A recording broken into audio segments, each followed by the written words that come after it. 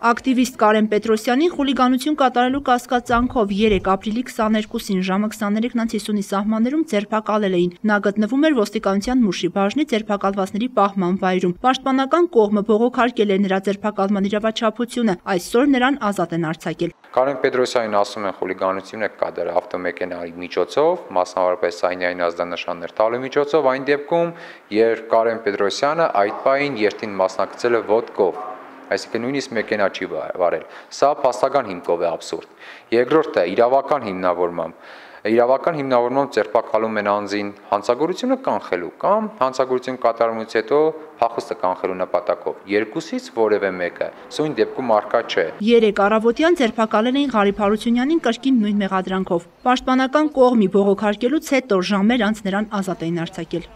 3, ինչպես գիտեք, ձերբակալվել էր նաև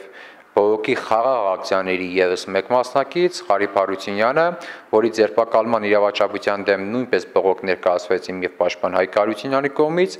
բողոքի քննությունը սկսվեց եւ դերևս չավարտված քննիչը որոշում ներկայացրեց, ըստ որի